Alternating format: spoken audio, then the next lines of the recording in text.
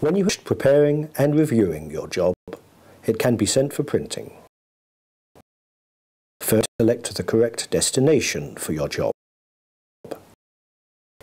Of printing directly on your local printers or sending it to an external reprographer.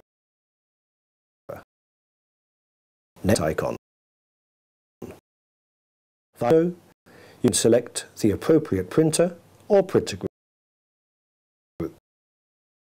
Has already been set during job preparation stage, you can now send it to be printed. If you have the possibility to make some last minute changes, Studio will automatically inform you to which device or group of devices the job has been sent, if printing is complete, or if it could not be sent. A monitor gives the ability to check the exact status of each of your jobs, to which device they have been sent, and whether they have been printed or not.